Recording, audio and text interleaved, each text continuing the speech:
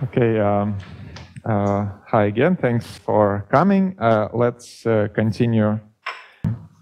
Let me start with a, a, recap of what we did yesterday and with few comments. So we studied the uh, theory, we consider Aks theorem, which is a theory without production, and we showed that the amplitude was identical zero. So first we consider analytic continuation of the elastic unitarity by Mandelstam, which uh, then allows to express double spectral density, which is a pure double discontinuity of an amplitude as an integral of a single discontinuity. And uh, then the result was that we found that uh, the fact that the theory is gapped use allows tells us that say in the direct channel the spectral density should be so if we start with elastic unitarity from 4 to 16, the spectral density should be zero below this curve. And then if we consider crossing, it should be zero below this curve. And then we, and of course, again, if theory was production, we only allowed to use this condition in the strip or in the strip. But if theory without production, elastic unitarity continues all the way. In particular, we can go to this region and then uh, use again unitarity to argue that the amplitude has to be zero. Now a few comments. First, as uh, uh, Rajesh pointed to me that pointed out to me that in the as we were doing analytic continuation, so there was this structure of the T-plane, and um, so there was a Lehmann ellipse, and uh, which goes from one to minus one. And then as we continue, we so there is a proven region of analyticity. Here, um, but as we continue, we go here, and so we have to assume uh, analyticity of the amplitude here. So this uh, I sort of didn't discuss this, but actually there is a there is a paper by Chong and Toll from again from the old paper where they close this gap, I believe. So if you assume no production, you can first establish extended region of analyticity, and then you use this thing. Second comment is that uh, we were saying there is no production at all, but actually you can say, uh, well, look at the argument. Uh, it seems that production, no production, say somewhere here is enough. And so this region, so where these two curves intersect is at 0.20 m squared. So you don't need to assume no production all the way. Actually, the production should start already somewhere here. Um, yeah, so let's, that was uh, what we discussed yesterday. And so today I would like to continue in this direction. So what is the amount of an elasticity that we need? So we know that there is an elasticity. So, uh, but before also I want to uh, quickly prove another theorem, which is as the Gribov's theorem, which uh, you can uh, uh, formulate differently. Well, you, one way to say it is that relativistic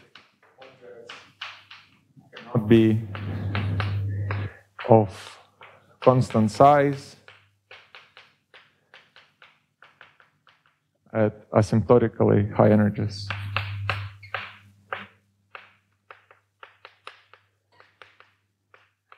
Another way to state the same theorem is that uh, if you look at the Legend singularity in the J plane, a fixed, say fixed pole at J equal 1 is forbidden,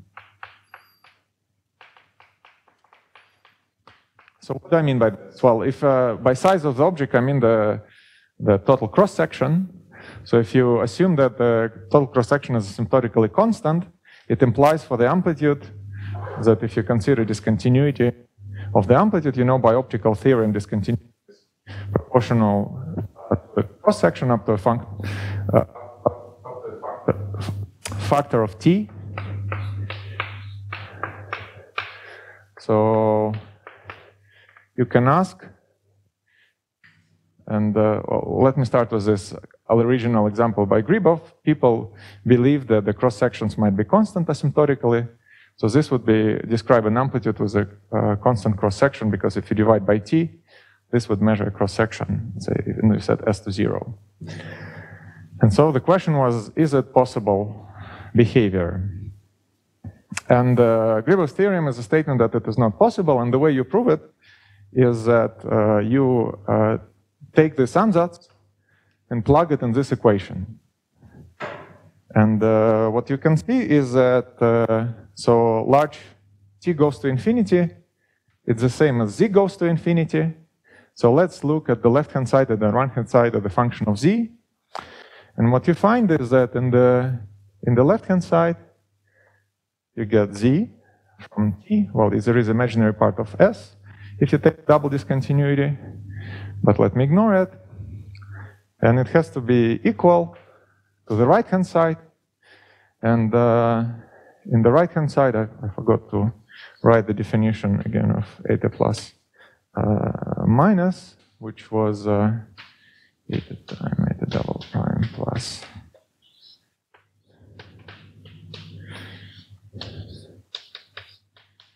And uh, if you try to take a large z limit on the right-hand side, you see that you can check that the leading uh, contribution comes from a large, large eta uh, part of the integral. So uh, the integrals that we care about, uh, we can plug the expression for for the asymptotic of the amplitude if we care about large eta here, which controls a large z behavior. So this li linearity in t becomes linearity in eta. So we have integral d eta, d eta double prime, eta, eta double prime. And the kernel simplifies uh, to the following expression.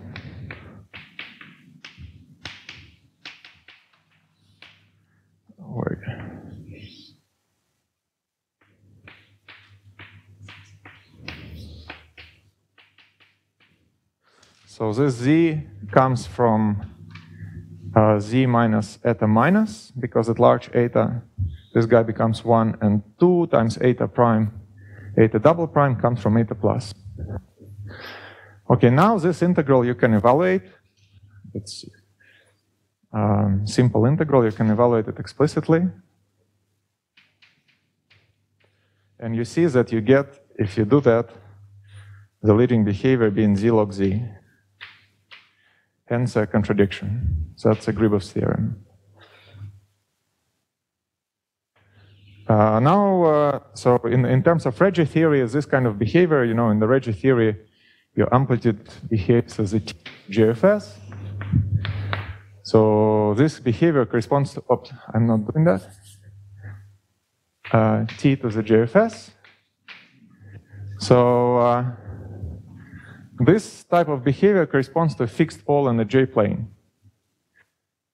And uh, this is uh, prohibited.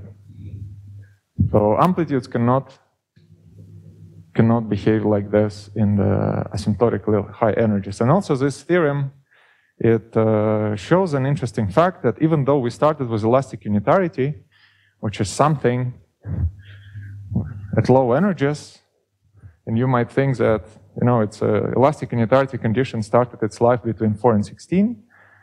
Um, but we see that if you do the analytic continuation, elasticity properties of the amplitude impose, this condition impose, imposes non-trivial constraint on the high energy behavior of the amplitude.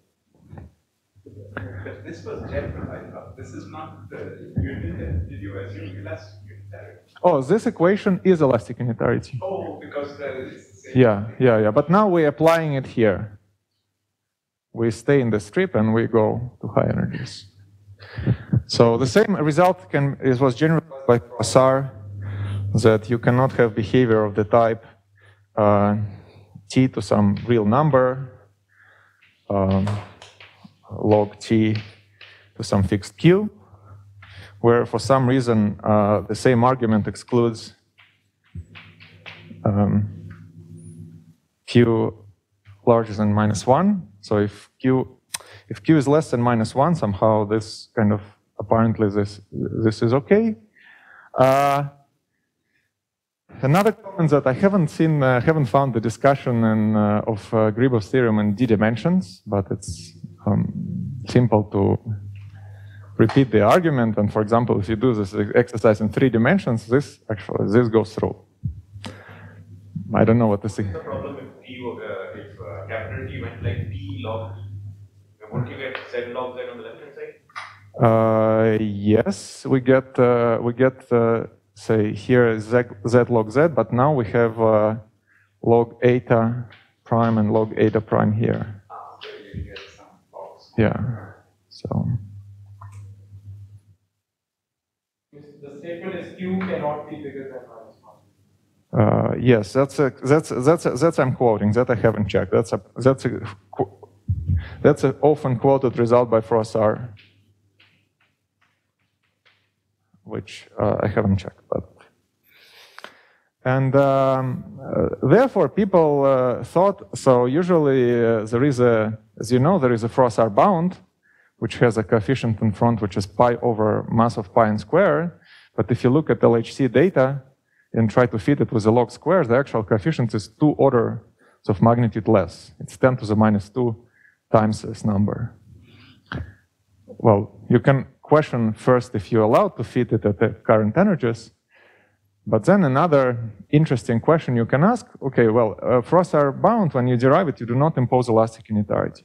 So could it be that if you impose elastic unitarity, this coefficient in the Froissart bound can be improved and the bound can be tighter? The question, the answer to this uh, question is unknown. And uh, also, so I don't know. Hi. Sa- Sa- Sasha, sorry, could you repeat your conclusion, please?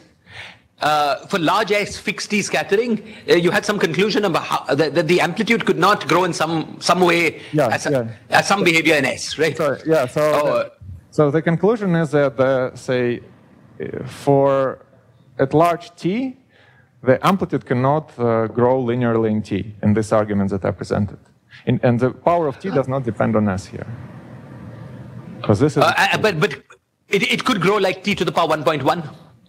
Uh, no, this statement also you can generalize this argument. It could also not possible.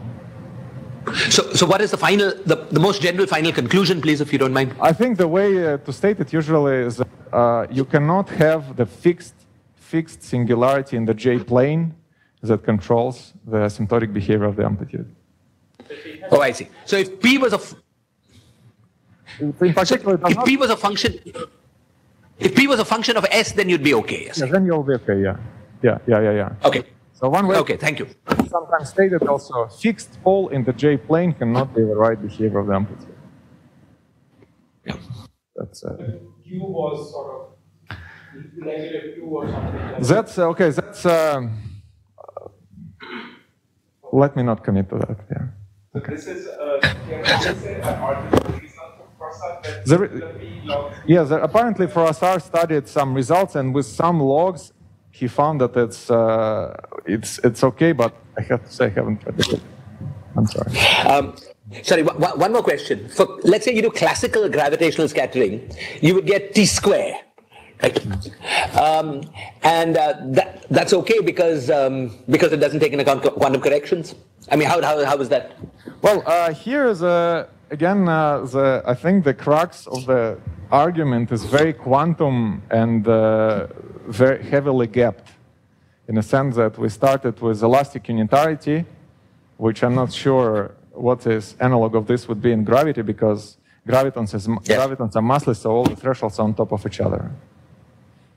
So the argument uh, the argument just fails at the first line.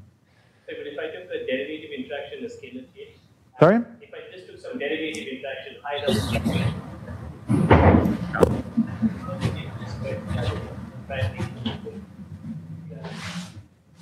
Sure.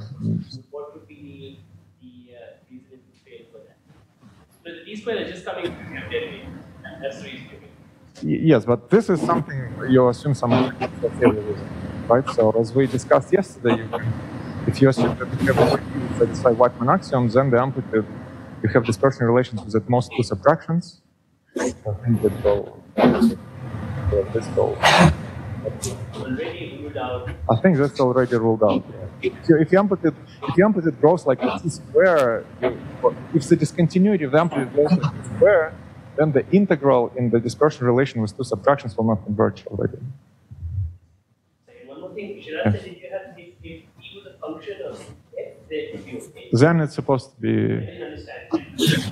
That was enough linearity equals to read when you get s fixed and you get up in e. um, care about whether whether t is a function of s. What using elastic unitarity is that we didn't make the arrow. um, yes. We just kept s fixed. So how does it care about whether t is a function That's um, that's a good point.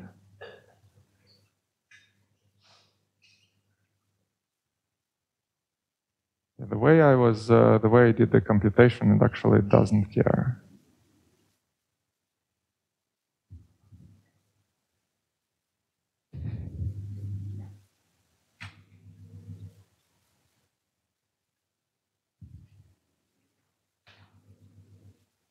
Yeah, well, it's uh, it looks like it, it's actually it goes through. So any any if you have if you would assume a fixed pole which depends on s, it, it, it looks like it doesn't work. Also, yeah, I, I don't know why uh, why it's usually uh, not stated this way, but this argument seems to go through, unless uh, yeah. Indeed, I, I haven't I haven't I haven't used that. Uh, it does not depend GFS.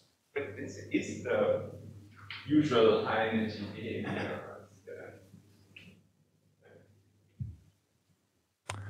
Um, you mean? Um, There may be a negative sign that's required. I mean, it could be maybe there's a sign.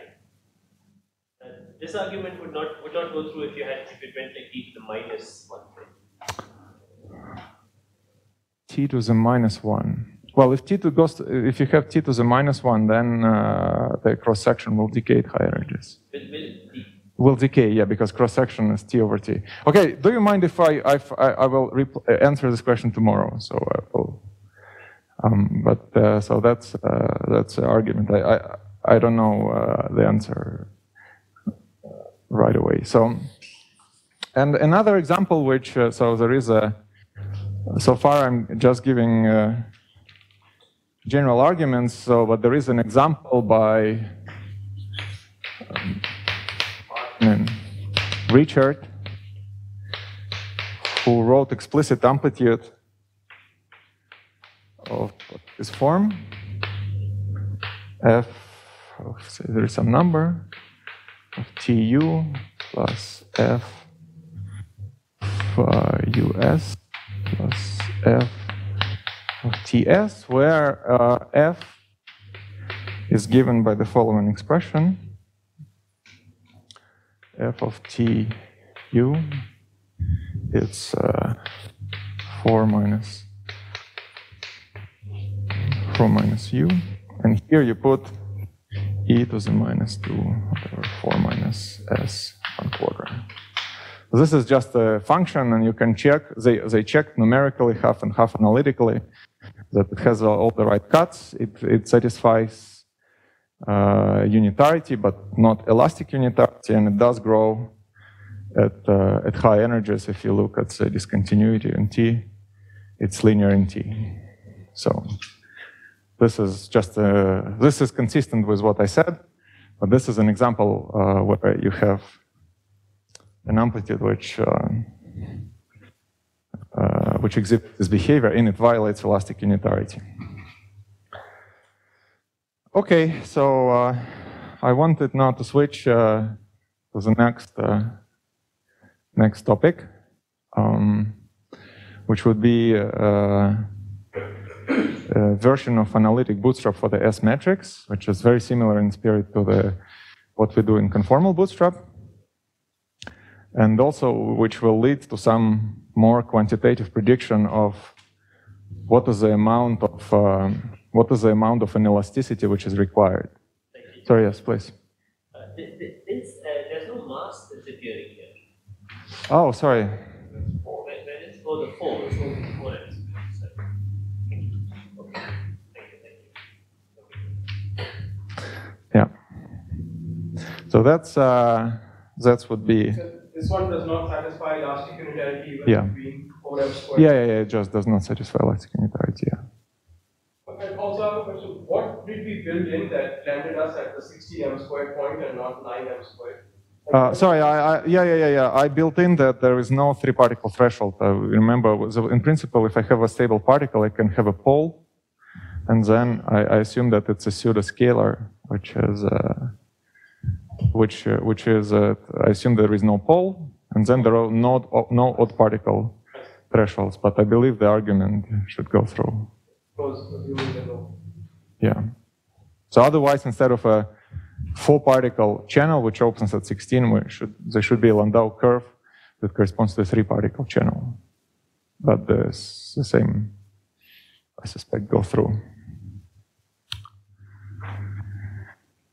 Okay, so let me move uh,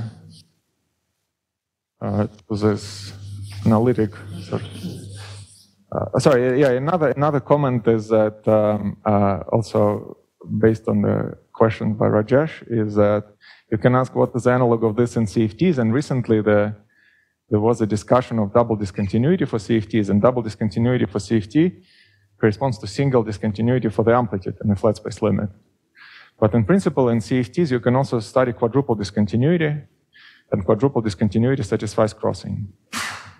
And you can also, and in particular, it's again discussed in the paper by Simon, and you can see, which I guess something like this Aks theorem that if you impose crossing for quadruple discontinuity, you immediately derive that you need multi-twist operators in the OP, which is sort of analog of a particle production. Okay, so let me switch to the now uh, uh, this analytic uh, bootstrap, and the, idea is that uh, um, well, the idea would be uh, again. First, let me uh, let me um, inversion formula quickly, which is Froissart-Gribov and then find a small parameter and uh, in the problem, and then uh, use this small parameter to do some expansions. Um, so something which is very standard and we haven't discussed yet is a partial wave expansion. So if you have an amplitude function of S and T, you can write it as a sum over spins of JFS. And here uh, we put the d-dimensional Legendre polynomials. And here I put also a normalization factor, which in principle depends on J. I will define now, it's in a second. So FJFS is given simply, uh, well, here I put um, the, the integral minus one to one. The integral goes over angles. That's as a measure. D is a space-time plug t, the expression, in terms of the angle, and you integrate against the Legendre polynomial in d dimensions. So Legendre polynomials are normalized with this factor. Um, and d of j.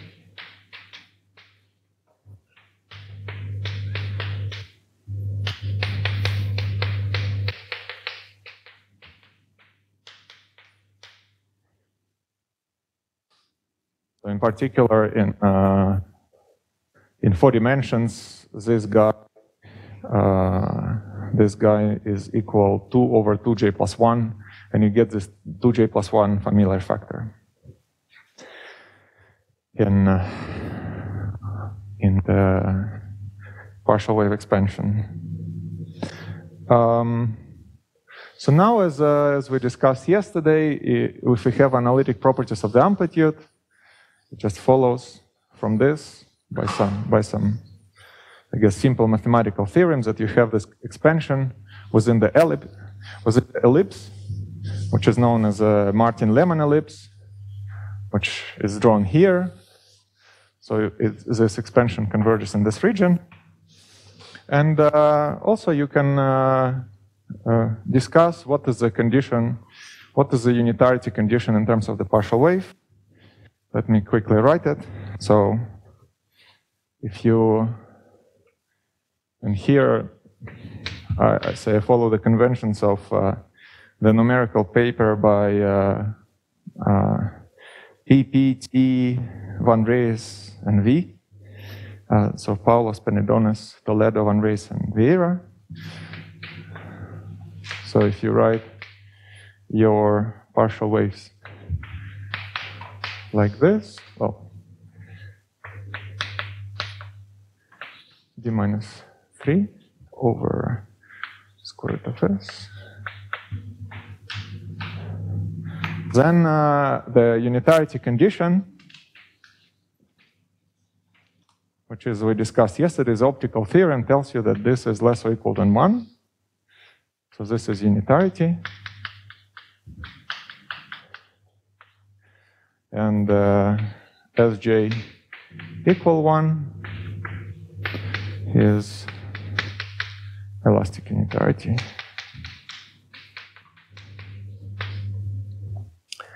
Uh, now, in terms of uh, in terms of f function, you get the condition that imaginary part of fj, or let me let's say write fjfs is large equal 4 minus 4n squared d minus 3 over 2 root of s of j squared. So this is this is just a rewriting of optical theorem, so it's kinematics. There's nothing here.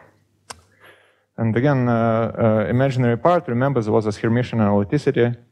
We take the amplitude and its conjugate, so and Hermitian analyticity tells us that taking the conjugate amplitude is going on the other side of the cut, and this is that you get this discontinuity, which is equal to imaginary part for physical S. Uh, now, the idea that we would like to, one can consider the following. So we have a non-perturbative S matrix. We don't have a coupling. Yeah. SK is just smaller than equal to 1 by, can, can you please explain those two lines? Sure, sure, sure, sure. So this, uh, so let, me explain these lines. So we have the condition S is dagger equal to 1, right? S is equal 1 plus IT, where 1 is this piece with disconnected particles. So now uh, sandwich it with two particle state and integrate. Uh, very good. So uh, you're right that, uh, uh, and this is the two, two scattering amplitude, and that is only true for a certain regime of lengths, right? The second one. Oh yes, this is this is only elastic in unitarity, so it's only true depending on what you assume about the spectrum. Yeah. Okay. Um, so the idea is that now we have a problem which uh, does, not have a naturally small coupling. It's all strongly coupled and quantum, but we want to expand uh, in something if we want to do analytical uh, computations. And so we need the small parameter. And one natural small parameter appears as follows. Again, let's go back to elastic unitarity. And uh, we know that the amplitude takes a form.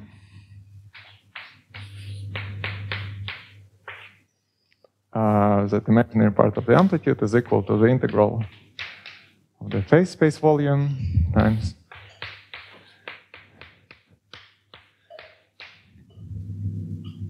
This is a schematic form, uh, and uh, now you see that uh, one uh, small parameter which appears in this formula is the following. You know that uh, this cut starts at 4m squared.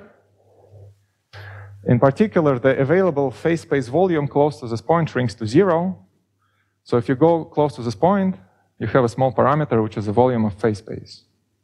Therefore, if you introduce some parameter, something like, you know, um, 1 minus over 4 n squared, when sigma, Four dimensions, I guess, so this. it's actually in all dimensions. So the phase space, yeah, well, the phase space volume is, uh, it has, it has a, it's essentially it has this factor s minus 4 n square, um, was it d minus 3 over 2, maybe there is something special and happens in d equal 3, but in high dimensions, it's all. Yeah, yeah, yeah, yeah. But this will apply in all dimensions. So anyhow, so the idea is then we can try to think maybe it will be uh, would be useful or something to expand the amplitude close to this point, close to the threshold, and in particular solve the unitarity condition, the elastic unitarity condition close to the threshold. And uh, the idea would be then uh, so essentially, uh, in one line, what will happen then, uh, you will see that uh, through the inversion formula, which is a Froissart-Gribov uh, formula, this expansion in terms of small sigma or small threshold is turned into large spin expansion. So in, like in CFT, there was a small distance close to the light cone, which turns into large spin expansion.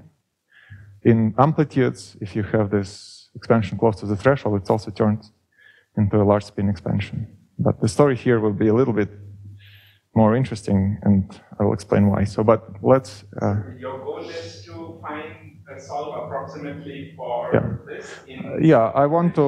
I want to build. The, yeah, build the expansion of the amplitude close to regime, close to the threshold, which satisfies everything I want, and then, yeah, and then feed it in into the rest to, to see what actually is controlled by these parameters. And we will see that the large spin behavior of partial waves is controlled by this expansion. I think you confused about, um, uh, sorry, I, I'm going to ask a naive question, but Yeah. let's say I just thought about non-relativistic scattering once again. Yeah. Quantum mechanics. There you obviously have elastic unitarity, no particle production. Yeah. And uh, what the partial wave analysis tells you that you just have phases for each particle wave. Yes. Then you cannot fix the phases without putting in more information about the dynamics. I'm confused about where we're getting the. So far, I ha- so far I haven't fixed anything, right? I know, I know, but in the end, Yeah. you are going to fix. Uh, Uh, well, actually, I will not. Uh, so the these parameters will stay unfixed. Well, some of them will, will be fixed. Well, big, because, but in general, um, the information about the details of the scattering, uh, I, I cannot fix it. So let me proceed. I'll just do three lines and then we will see what you get. So let me rewrite this condition slightly. So we can write this as a i over 2, whatever, f um, um, say, 1 over 2i f minus f dagger. This is the imaginary part, so let me divide by f square. And uh, we have the following uh, equation.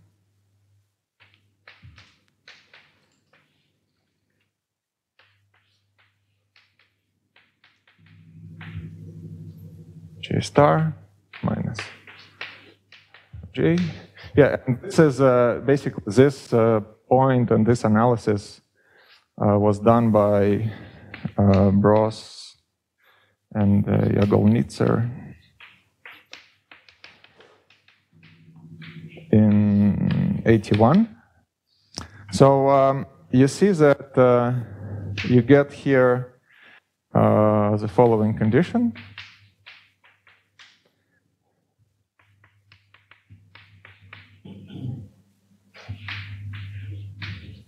And here you see that uh, the amplitude, something interesting happens, which is that the even dimensions and odd dimensions behave differently. Because as you see, there is this d minus 3 here. So if you have odd dimensions, uh, as we go around the cut here, this is just, uh, uh, in odd dimensions, this is just a polynomial. So it does not develop any discontinuity, whereas in uh, even dimensions, it has a square root structure. So again, this is well known, and uh, you can write the most. Uh, um, so the solution to this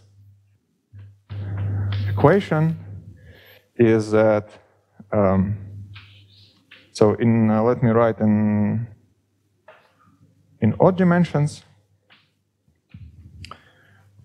So we write the square root over 4m squared minus s d minus 3.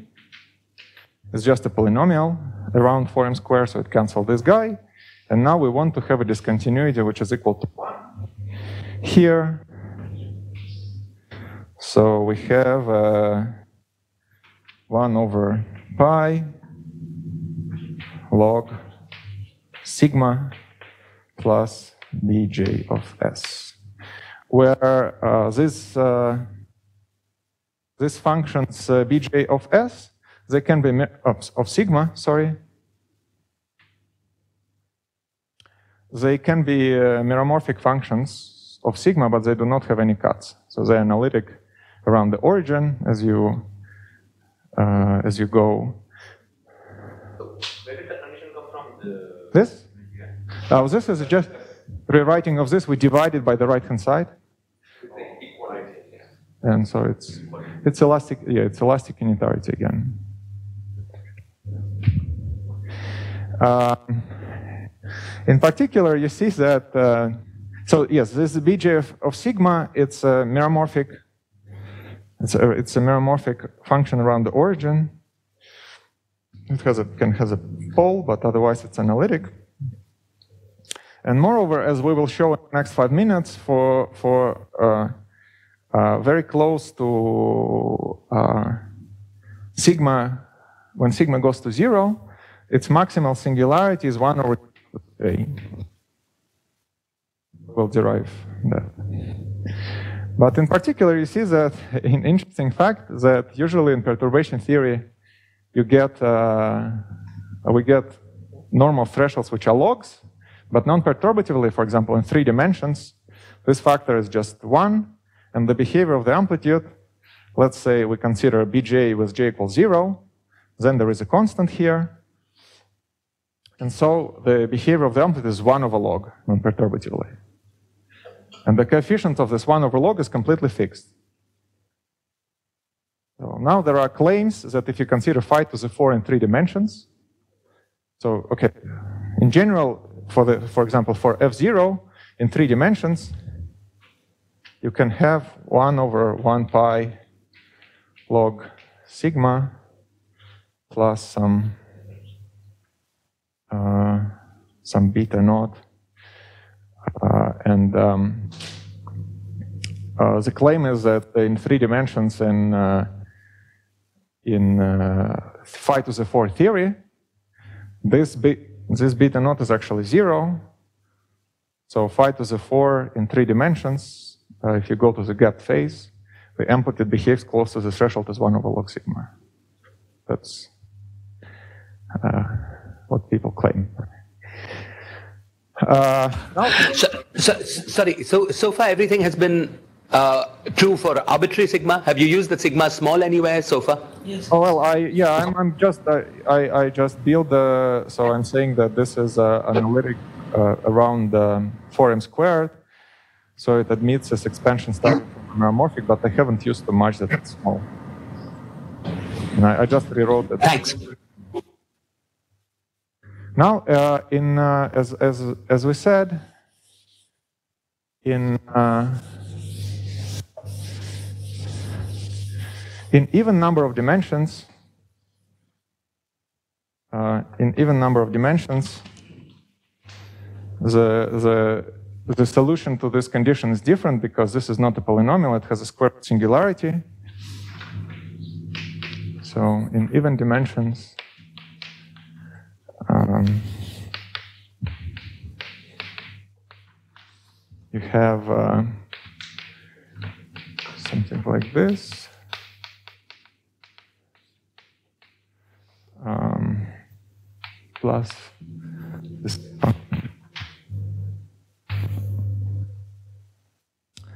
Um, again, say, for example, uh, if you consider uh, uh, four dimensions. It's a one over square root singularity uh, close to the threshold. And this singularity made its appearance in this numerical work, which I again mentioned so many times already. So in particular, if you remember that, so they do a certain scheme for Bootstrap and they found in two dimensions some integrable theories. In three dimensions, they maximize the coupling and they again found some um, extreme solution. And this extreme solution has this behavior in four dimensions. It has one over one over pole. Sorry, uh, just, uh, yeah. this uh, did you have an argument why it goes as one of the sigma? Uh, not yet. I, I, it's my next step, which is uh, It's the case even for the yes, it's always the case. And by the way, so one one also one piece of terminology. So the leading piece, uh, let me call it bj0, uh, sigma j. This is what is called the scattering length, I think. So for example, when people discuss pion physics, they measure these things, and uh, this is uh, what scattering length is. Things, things in the, things are really four minus s and not s minus four. Uh, well, here it's uh, I, I just uh, say if I sit, you know, if I sit below the cut, sigma is uh, positive, but then uh, uh, this guy develops a discontinuity as we go, and I pick this discontinuity. Now to derive, for example, this fact, or at least when we have one way to derive it, um, I would like to, yeah, so here, uh, just maybe some punchline, there is no much of a punchline, uh, but the fact that there is a, a natural way of, uh, to solve elastic unitarity, so you might think, okay, maybe now it's very nice, we impose it, but here if you now write a partial wave expansion of the amplitude, which is uh, some, some of this fj's, the crossing is completely non-manifest. So it's not clear how to impose crossing efficiently. Now, uh, one, uh, as we learned recently again in CFTs, one useful uh, way to think about uh, this kind of problems is to do this inversion formulas. Sorry. So uh, you have this going as 1 over sigma to the j, right? It's a most singular piece, yeah. Right. So one should already use these Tauberian theorems in your Yeah. To start talking about large j behavior. because you have uh, something that goes like s to the power of j. Uh, sorry, so uh, So you had an expression for E of S in terms of this in this plane wave. Uh, yeah. and uh, that sum goes from j equals 0 to infinity and the j now goes as some s to the j. Yeah. Right? So, Yeah. So now I can already, knowing, knowing the behavior of TST at small s, I can start talking about uh, the large j behavior of FJ. Uh, the large uh, S. Can you trust this? sorry. Uh, here, yeah, here is that sigma is small. It's a small sigma. Right, which is small s, right? It's a, uh, s close to form square.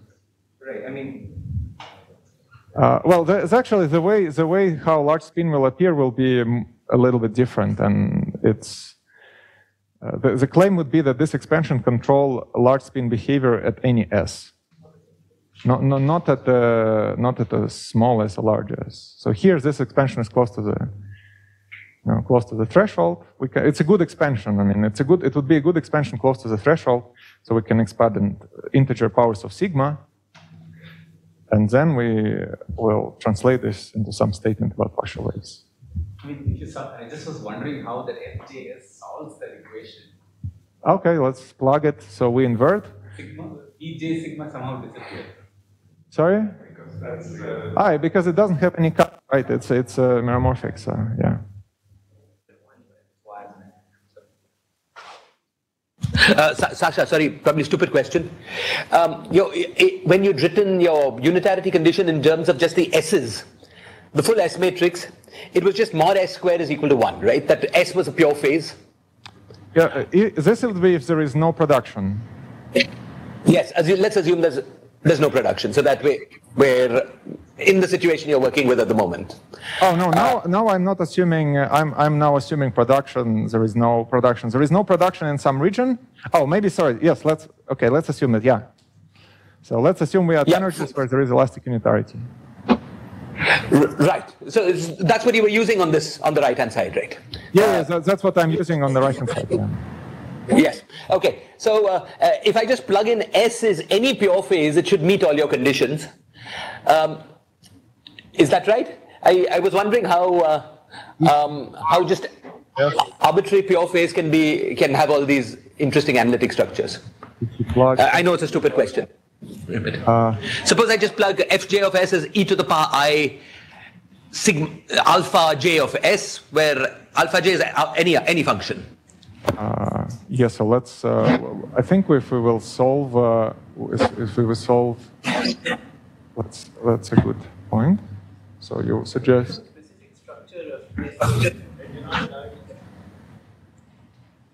Uh, so this uh, here, so this is something that uh, that happens for physical S. So um, for S larger than 4m squared, and now um, I think we should, uh, if we plug this formula into the uh, into the formulas that I wrote, it should we should get that just for S larger than 4m squared.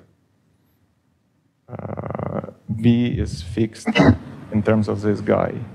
But the important thing is that this formula by itself is not good because if you just plug a phase, this is not consistent with this structure, right?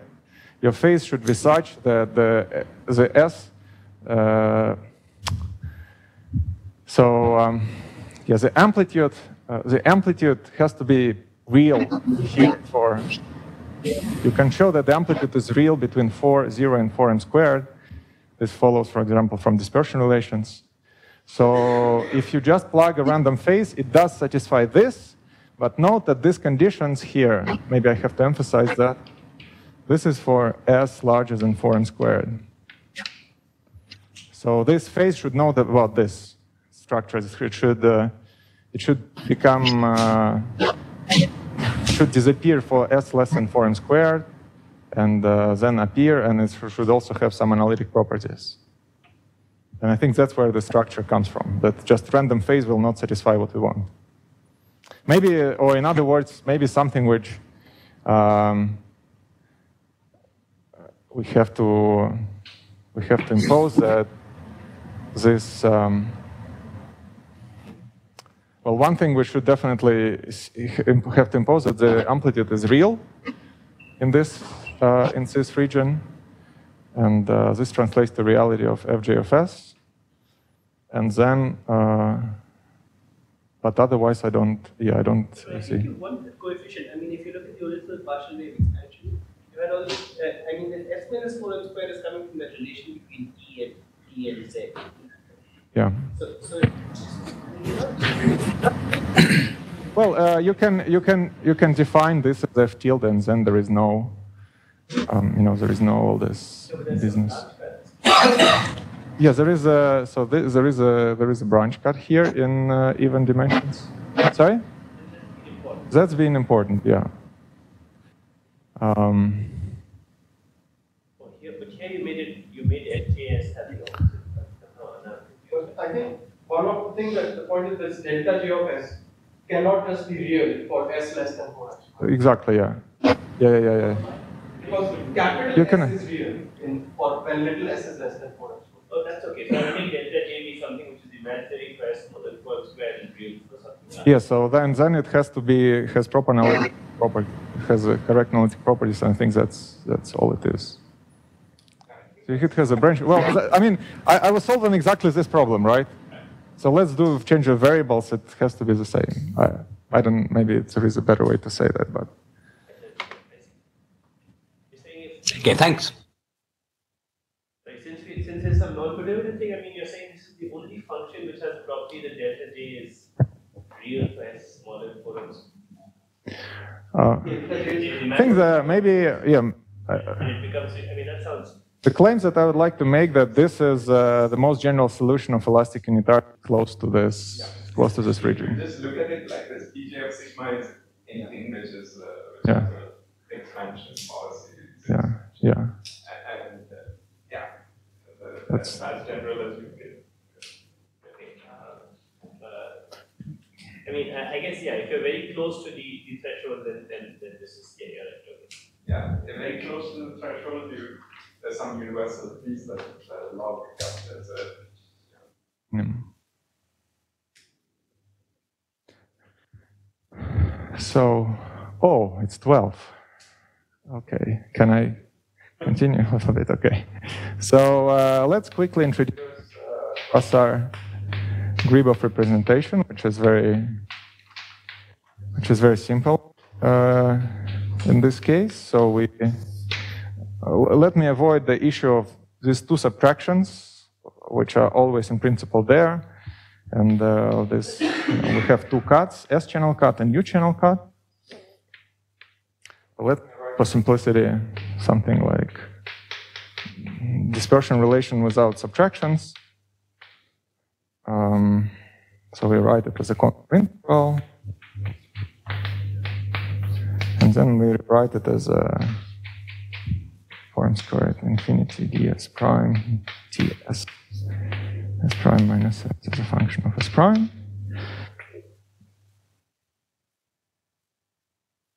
And now uh, we uh, we would like to plug here the partial wave expansion.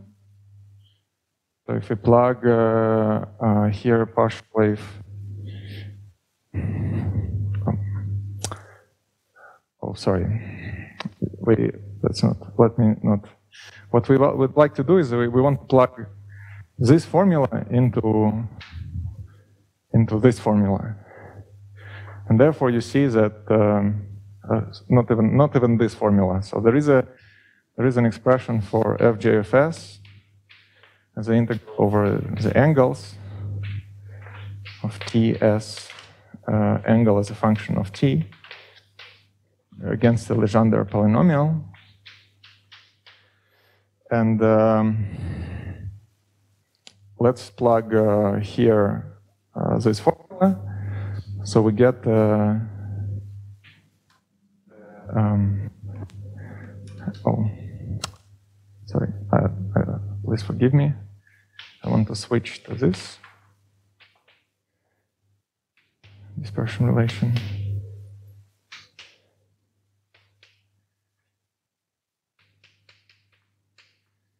um, and uh, if we plug this uh, integral here, we, all the dependence on t is in the prefactors. That's why I wanted to switch to this dispersion relation. So we just need to integrate 1 over t prime minus t against the Legendre polynomial in this formula. And uh, what, we are, what we are left with is the integral of dt prime from 4n squared to infinity. And here uh, we get this, this integral of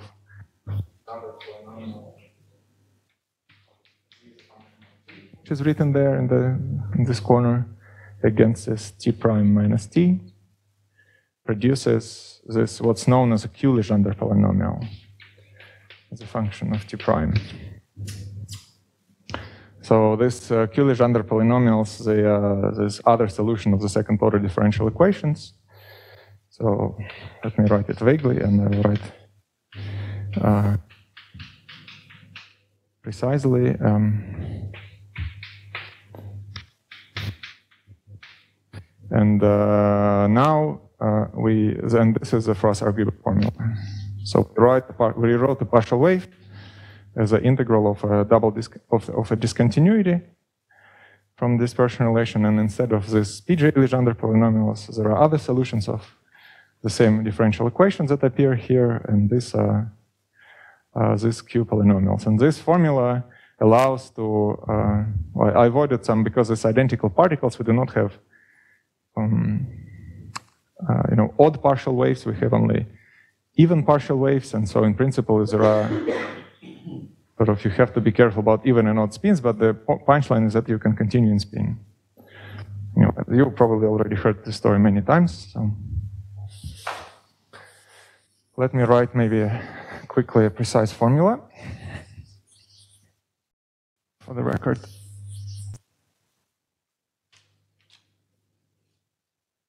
I had it somewhere. Maybe I don't. Okay. Hmm. Let's have somewhere here, for example. So, for identical particles, the formula takes this 2, 4m squared to infinity.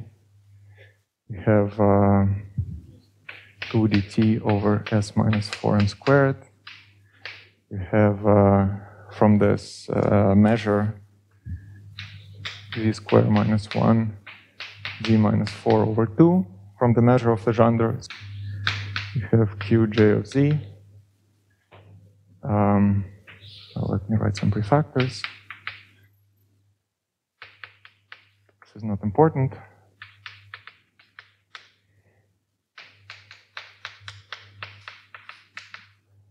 Um, and here you have a discontinuity in T. Uh, now, uh, an important fact about this uh, uh this Legendre's with Qj is that if you look, so you see the integral go from the threshold to infinity. Uh, an important, very basic observation about this Legendre's, for example, let me write um, for the record this formula in 3D. So in 3D you have 4m squared.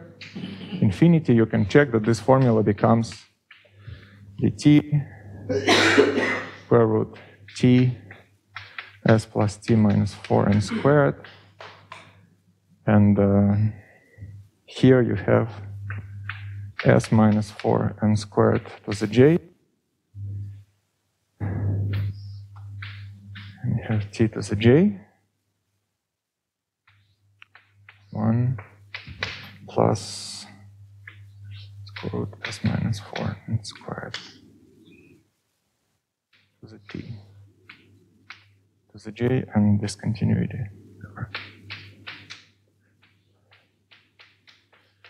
Uh, so you see here the, the basic uh, the basic observation is that well the basic known fact about this formula is that uh, if you um, if you increase uh, if you increase spin you have uh, you have here well let me divide by 4m squared to make it dimensionless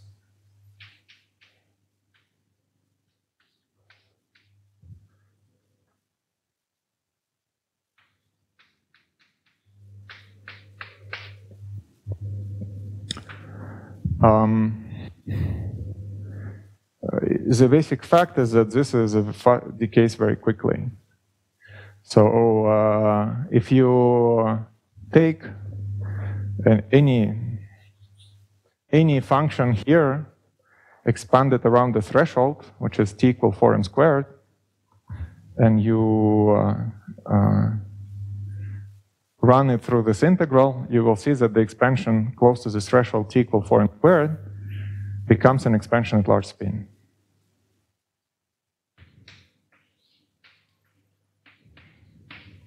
And the way it works is that, uh, again, that uh, simply if you, uh, um, you know, if you, if you do this integral, you will get very quick damping of this, everything that comes uh, from higher than 4m squared. Just one question here. You have s upon 4m squared minus 1 to the power 3. Yeah. You are actually restricted to s greater than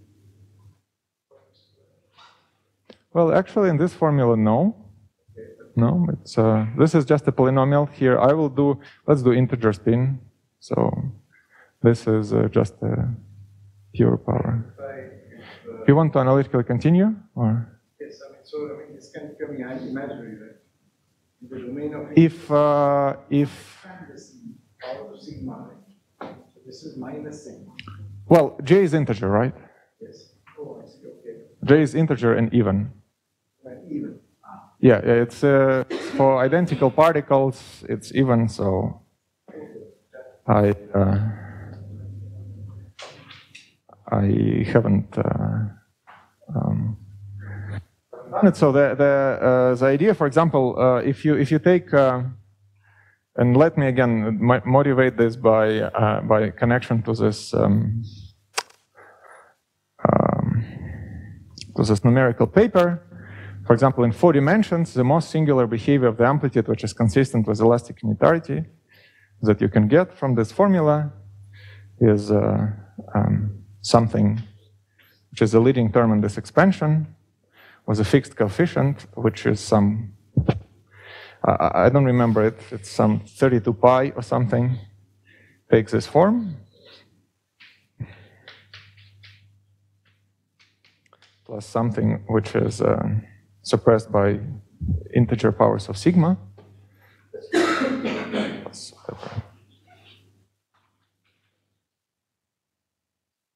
Um, this is fixed.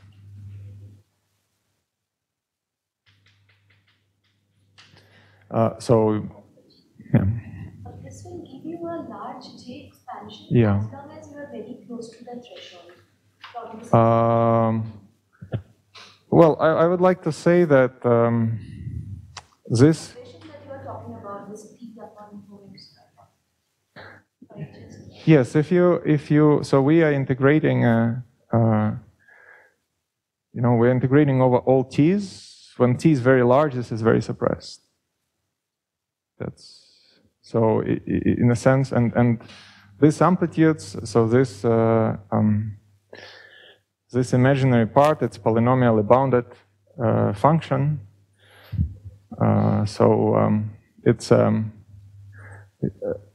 I agree. You can uh, you can in principle then estimate the error based on the on the behavior of this thing. I guess at the moment I'm saying is that if you if you write your amplitude, if you write an amplitude, as if you expand it around the threshold and you plug into this formula, you will see that this expansion is just turned into one over j expansion. Maybe that's only claim I'm making. And the, the reason you is it's happening, you will see that essentially um, this integration, if you make some change of variables and you take j to be large, in the large j limit, it becomes an exponential decay, in exponentially decaying kernel.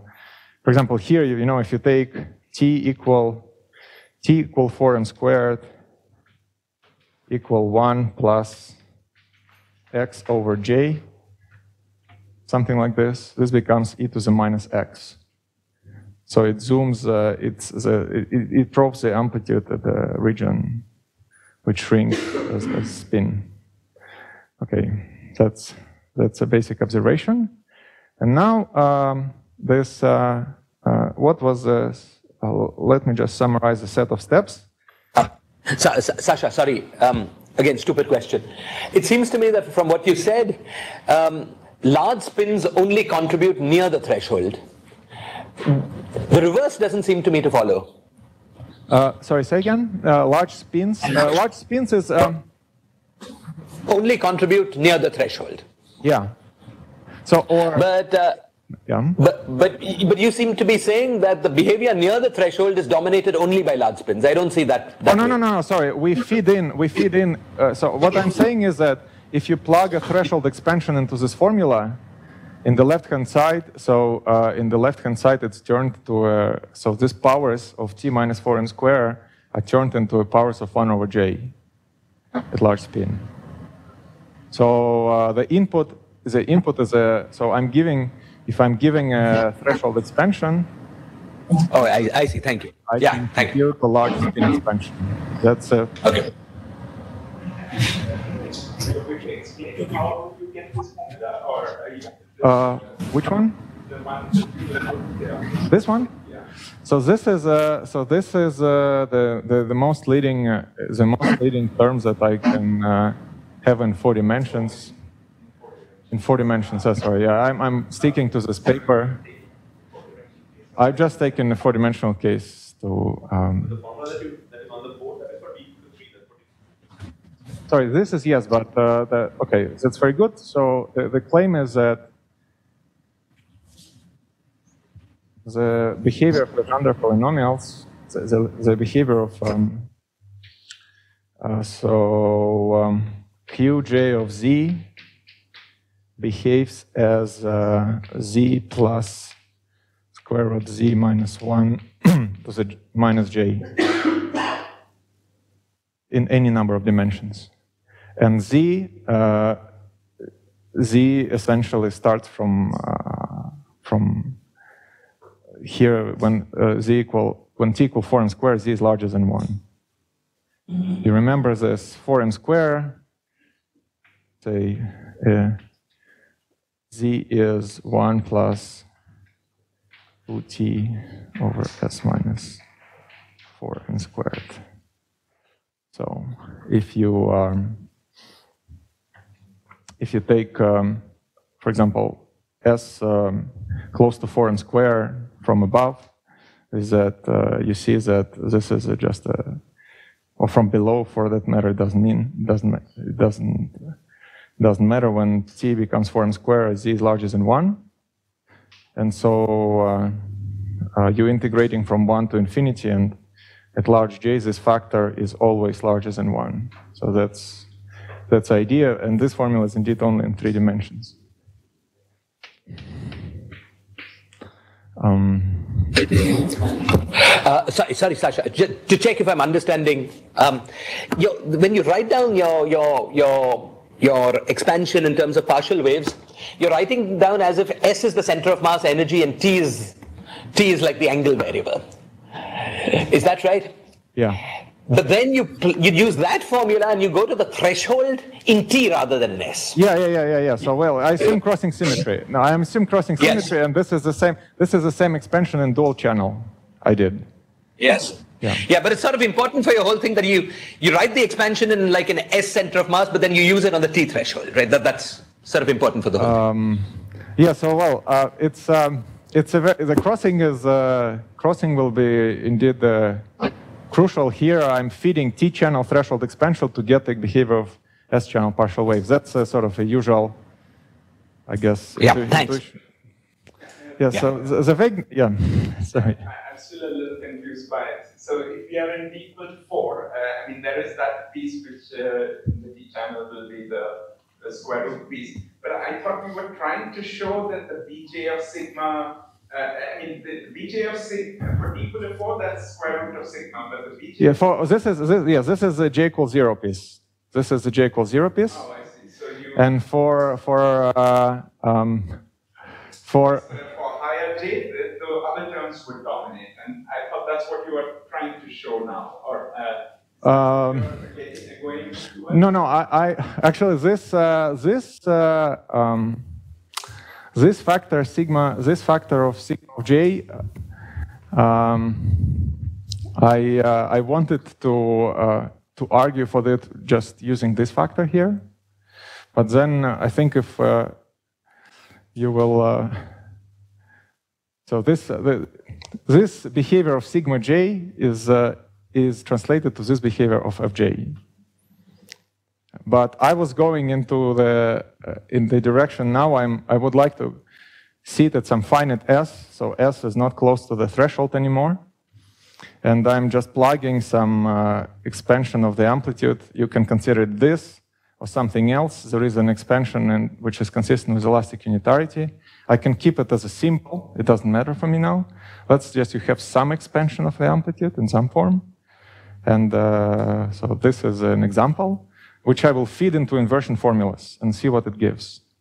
So and the claim would be that whatever your expansion is of the amplitude close to the threshold is transformed into the large spin statement at any s.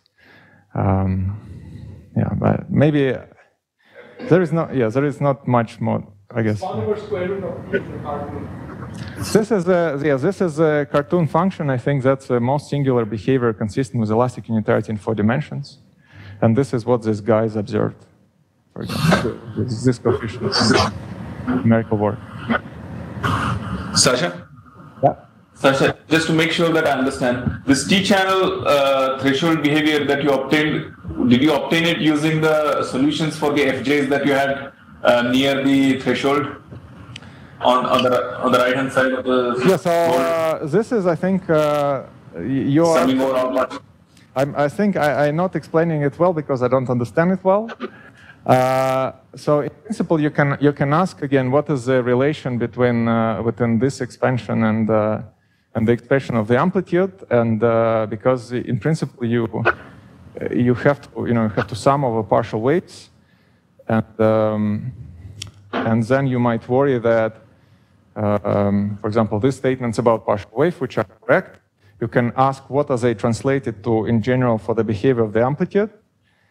And um, I, uh, I think that it's easier for the amplitude, it's easier to do this threshold expression directly in the elastic unitarity for the amplitude, and I expect that you will get some uh, expansion like this, but uh, It's motivated by the fact that for j equal to zero, Yeah, yeah, it's motivated, and I think uh, I think it's also if we, if we, if if you write if you write elastic unitarity for um, for just amplitude without partial wave, and you plug this formula, it will be satisfied. That's uh just just a solution of elastic unitarity, which is singular, and then uh, we can write it, we can dress this solution by by expanding it in this in this powers of t minus 4m squared with some coefficients. And then uh, the exact the direct relation between coefficients uh, here, I think the, the, rela- the relation is direct. So this is just f0. For other guys, um, I haven't said anything about that. Well, I can ask it the other way around. If the summing is a problem, then if I take this and then expand in terms of partial waves, do, do, do, do I get uh, the kind of solutions that you wrote down for the partial I think? I think so. Yeah, yeah. Well, this is just f0, right? This is f0. I have written it here. only- Ah, okay. I only have I only have written here f0, and f0 gives directly. Ah, okay. I see, okay. I see, sorry. Yes, thank you. Sorry for being not not being clear. Uh, now uh, I will just write the the state steps and the results. So there is nice things that happen.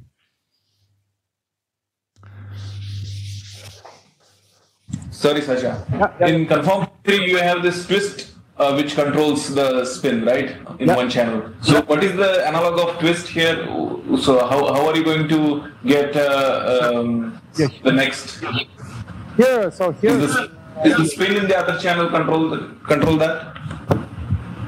No, no. Here, here the these powers, which uh, so these are powers of this expansion of the amplitude. These powers are directly becomes they become powers of uh, uh, in one over j expansion. So I don't know um, if I can say more than that. So you you if you you know if you you see that the integral is dominated close to this threshold, this is a relevant scaling at large spin, and then you see that uh, you know if you have the t over 4 minus square minus 1 to some power, it becomes x over j to some power. Yes. That's uh, Okay. what happens. But an important thing is that important thing to be said is that you see that here there are these uh, Legendre polynomials, and um, as I told you that the integral starts from 4m squared in this case, so there is always a b, b factor of this qj of z naught, where z naught is this value 1 plus 4m squared, s minus 4m squared. And this is dressed by uh, expansion in powers of j. So there is a universal factor just coming from this threshold, and then the fluctuations around the threshold, if you wish, uh, becomes expansion in 1 over j. Um, so that's a statement about f. Another nice statement, uh, which I haven't uh, maybe explained too much, but you already, uh, yeah, probably see. Sorry, yeah, please. Yeah, yeah. The fact, this, this factor is independent of this dimension that you are Sorry, say again. Here, the, the, large J story, the, the formula that you wrote upstairs, Q J Z Z zero J to the power, Yeah. that there D does not enter. Well, D will enter, I think, in the, in the form of the behavior of Legendre polynomials close to the threshold. So when you try to expand this guy and take a scaling limit close to the threshold, things will depend on Z. So, Right. we see, we, we, for large J, there is no D dependence. I mean, there, there's a asymptotic formula that will be there. Uh, this one? Qj goes like plus z square root of z square. Oh, yeah, sorry. This is uh, um, this is not uh, this is a vague formula. There is, I think, there is some there are prefactors here, which are d-dependent, and I think uh, if you write them carefully, in the end, I, I'm not sure, but I think d-dependence. I, I can check the d-dependence will enter, and uh, uh, yeah, but it enters only. It, it just enters through this through this uh, structure and through the structure of the threshold expansion. Yeah. Um, now, uh, one one nice fact is that which which again based on the same thing that um, the phase space over which we're integrating becomes small close to the threshold is that remember we have a uh, this picture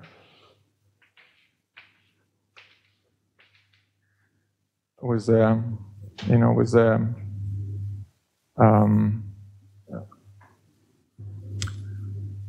with the Landau, called Landau or Karplus curves, and the spectral density in uh, in this region was in this region was given by by the integral of continuity. And uh, what happens is that what happens is that by the same argument, when you close, uh, if you consider expansion of the rho close to the Landau curve, say here, it's again controlled by the threshold expansion. So you see the same, same thing happens.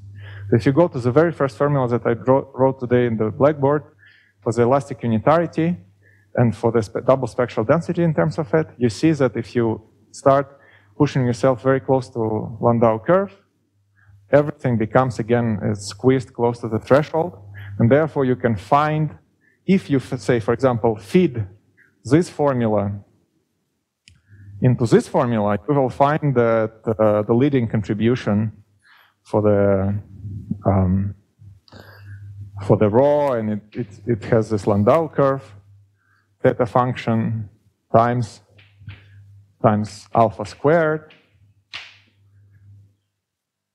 which comes from the fact, let me denote this by alpha, comes from the fact that there is alpha here, uh, and then you will, so what, for example, if you do this exercise in four dimensions, um, uh, there is, uh, say, t minus, uh, it's called sometimes t plus s, this Landau curve, square root. So if I call this t plus s, so this is the leading term close to here. And uh, therefore, you can now, so we use this threshold expansion to compute the leading asymptotic of f. We use this threshold expansion to compute the leading asymptotic of rho. And we can now uh, uh, go and use the crossing. By crossing, similarly, we know the leading asymptotic of spectral density here. So we can now go to the Froissart-Gribov formula and take its imaginary part. And so we will get that imaginary part of f is equal to the same thing, but here you get rho.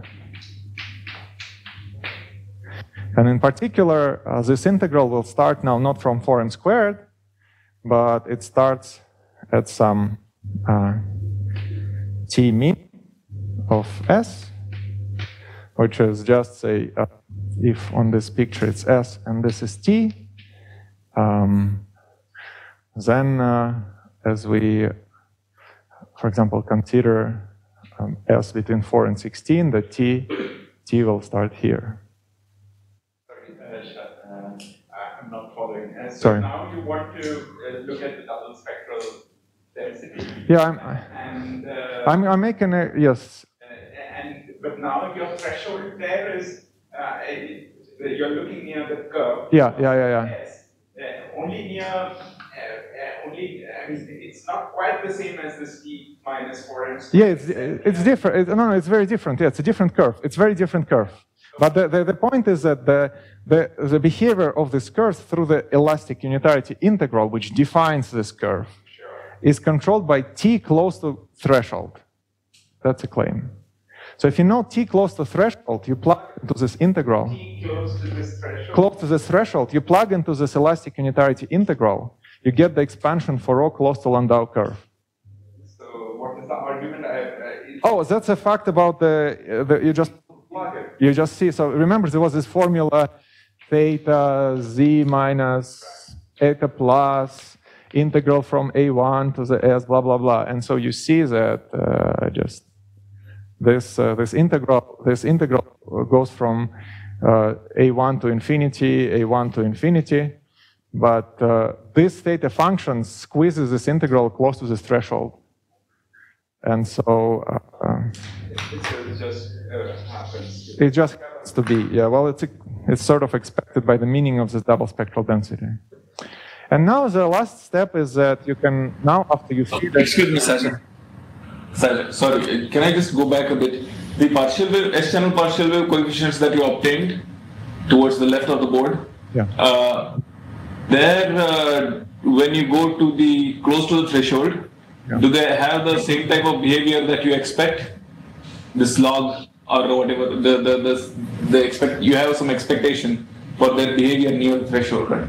Yeah, so here, th- this would be a different regime from which I would like to discuss now, which is because now I keep S fixed and potentially large, but by consistency, it, it has to be, I, I, I haven't, I haven't demonstrated it on the, on the board. I see. But it is, it looks non-trivial that it would be, right? I mean, Yeah, it's uh, non-trivial, and this, uh, for example, this uh, scattering length through this formula, they they become moments of discontinuity.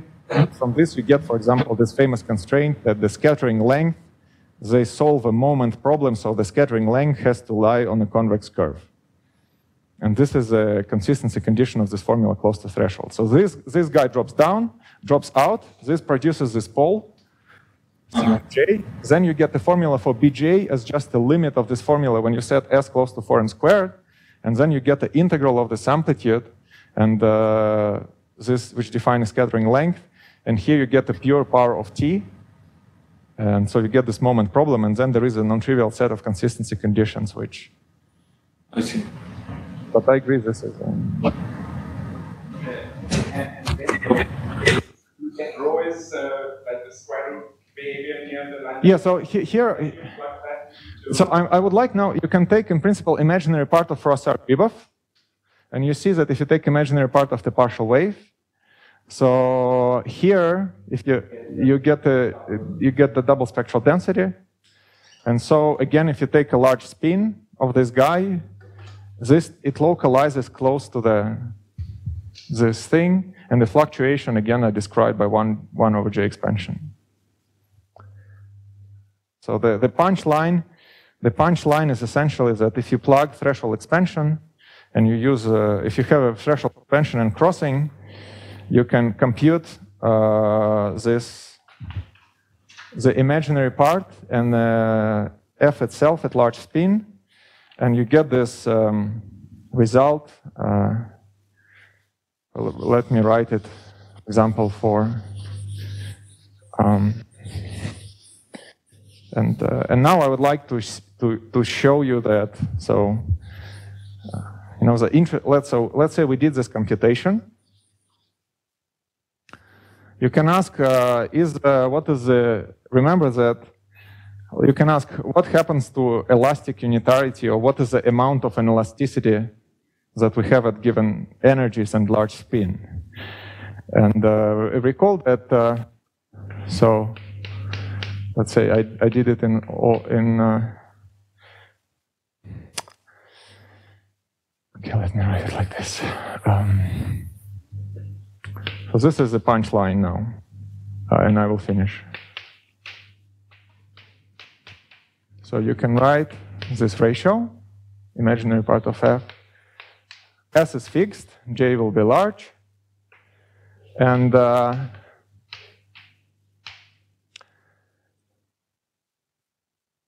uh, you can uh, do what I just uh, told you and uh, get that the leading behavior is just completely fixed. So there is some prefactor which is polynomial in S, or some square root, it doesn't matter.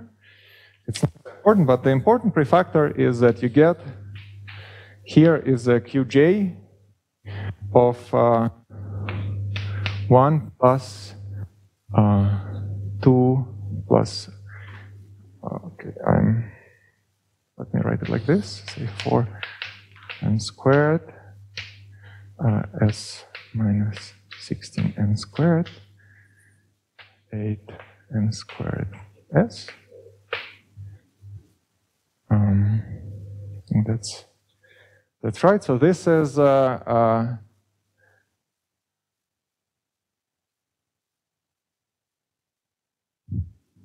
yeah, that's right. This this argument comes about. So th this is an important part. This is a uh, this minimal value of imaginary part comes from the fact that we have a Landau curve.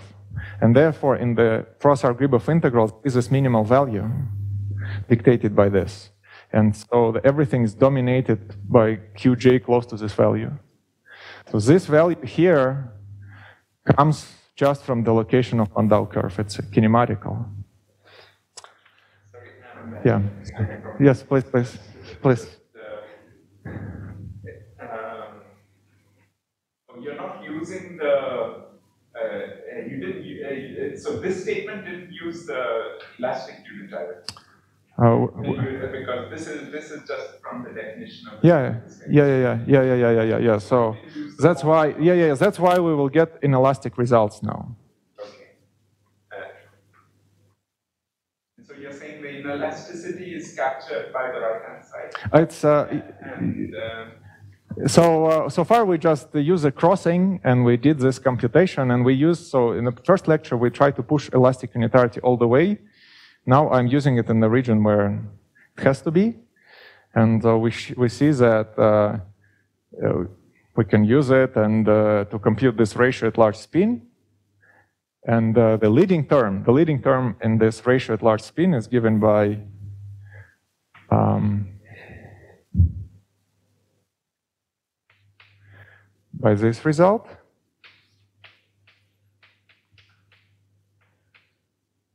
And here we get, I think, 64. So now, and this factor might look uh, a little bit uh, unclear to you, where it comes um, uh, so yes, the numerator, I can, I can, I can explain it a little bit. It comes about as follows. So let's compute what is this thing. I can, maybe I should write it down somewhere. So, this, uh, this t, well, yeah, let's derive the numerator quickly. So, uh, um, we had this formula, uh, that um, uh, whatever t was larger than 16 m squared plus 64 m to the 4 s minus 4 m squared. Um,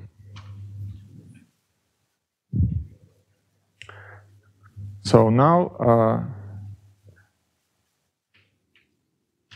This is uh, uh, this is this curve. In the Froissart-Gribov integral, we are integrating over t. So we we have to when when t is close to the threshold between 4 and 16, we have to use elastic unitarity in the dual channel, which is here. This is a relevant Landau curve. So the relevant Landau curve for us is a crossing symmetric of this which is that s is larger than 4 16m squared plus 64 n to the 4 t to the minus 4m squared.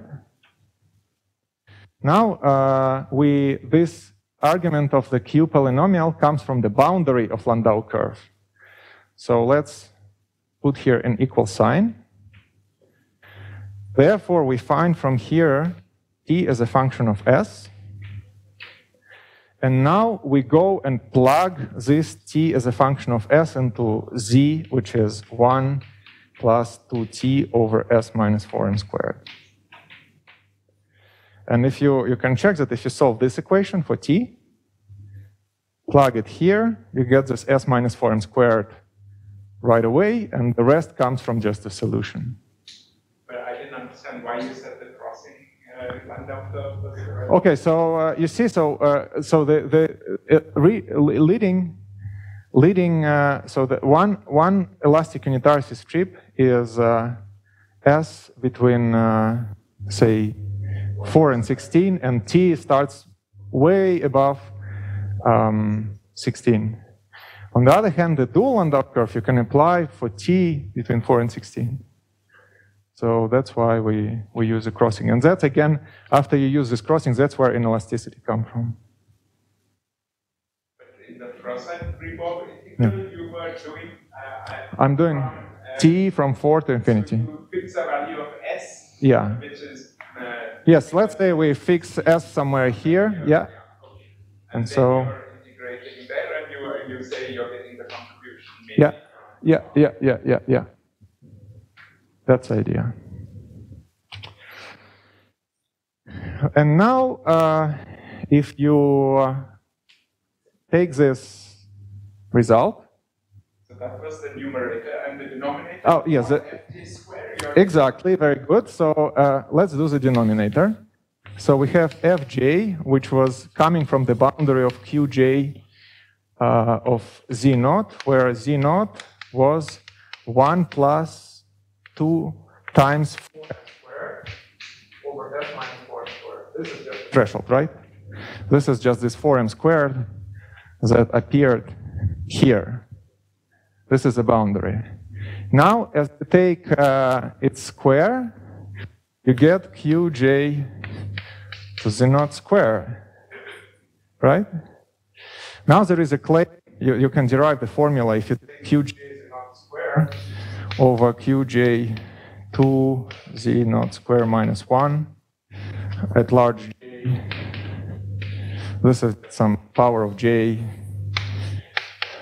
times a number. This is a formula which I haven't explained to you, but it's this is a fact about these q things. And so if you take, yeah, you get rid of the square. So if you take the z naught, plug it in this formula, you will get this. You will get this. There's a square in the denominator. the argument. No, there is- No, no, there is no. In the argument of the qj. It's On the- 2z On the left, on the left. on the left.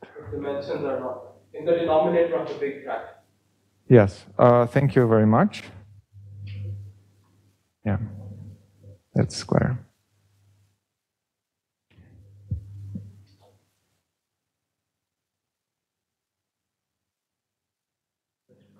Uh, and so now you can ask uh, for which, for which S, so you know, if elastic unitarity would hold, this thing should be equal to 1.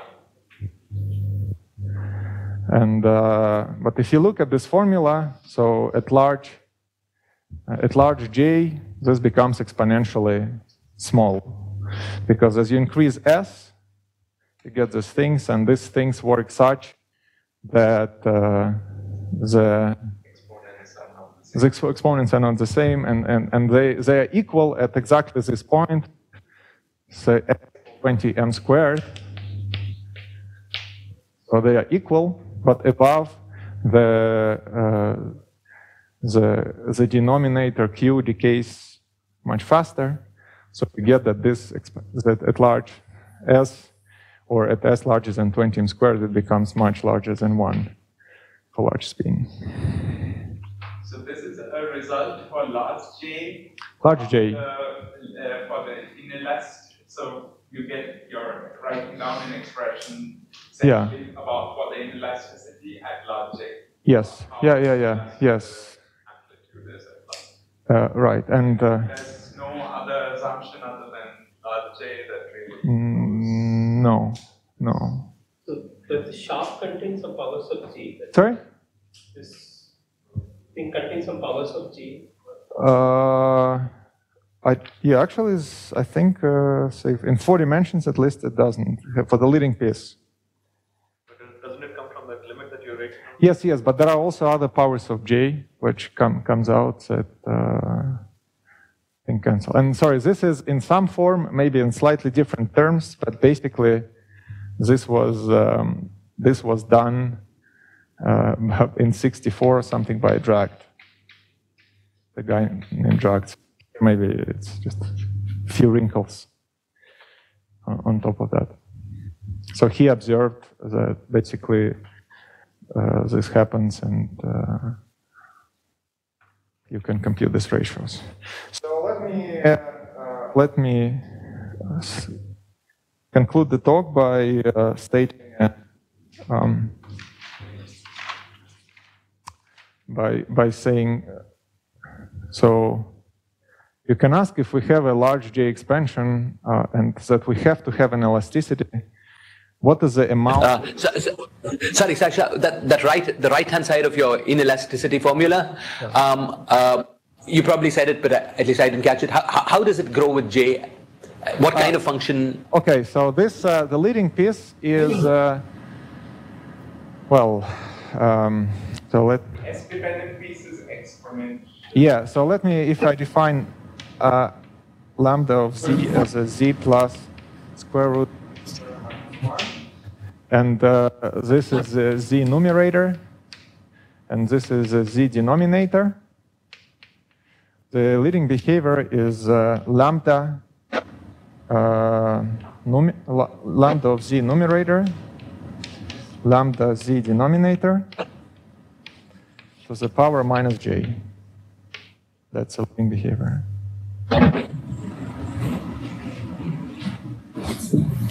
Okay, thanks. Sorry?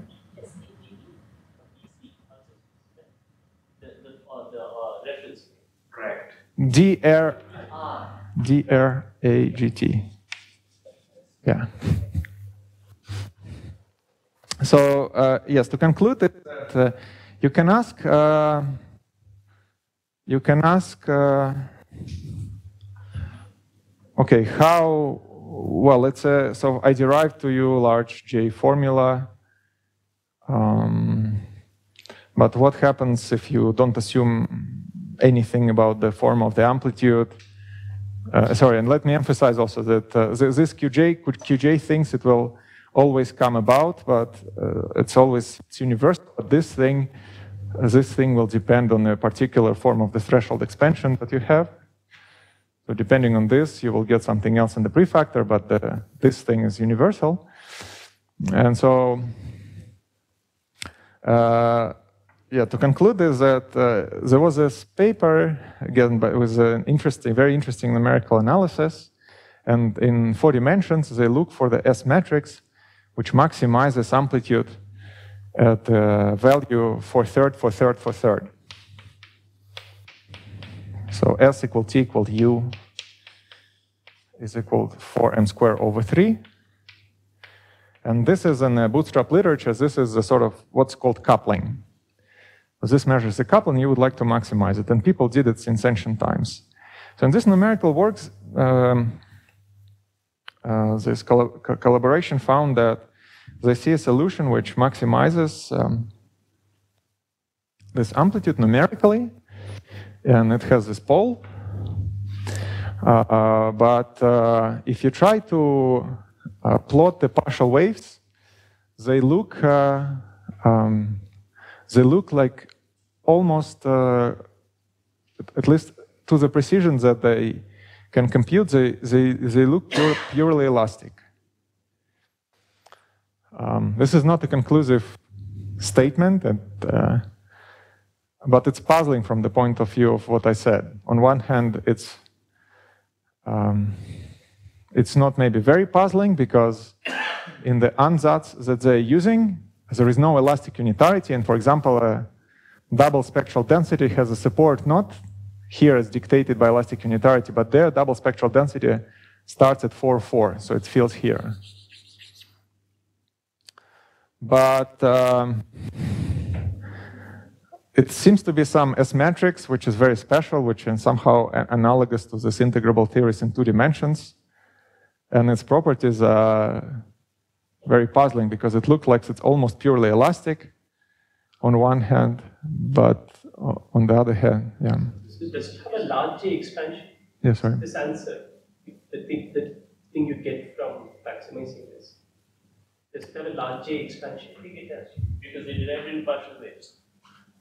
Uh, sorry, which thing? The, the answer of uh, Vieira and uh, Oh, well, they, sorry, so their, their ansatz, it's a numerical work, and uh, they truncate and spin. So, so, but they're working at large spin or? Small spin. Small spin, okay. Small spin, they're yeah. Working for small spin. They're working for small spin. Ansatz is zero. You're saying the partial waves for some J are just zero. No, no, uh, sorry, okay, I, I, if, if we have time, I can tell what they're doing, but I don't know if I can, if I should wrap up. I, so what they're doing is that they write an amplitude as an expansion in this rho variable which maps the plane to the disk. So they have this, just a, it's a complex map.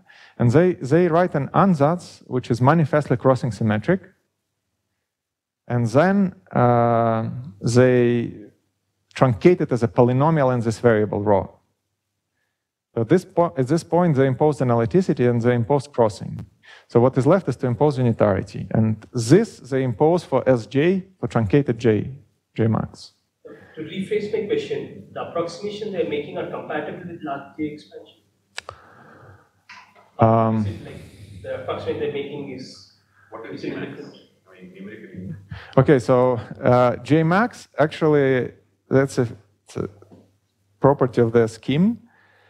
Uh, my impression is that their amplitude, so it's a little bit different from conformal bootstrap, but their amplitude, if you try to push Jmax too far, probably it will violate unitarity. Because their amplitude is really some truncated polynomial, if you wish, of the real amplitude.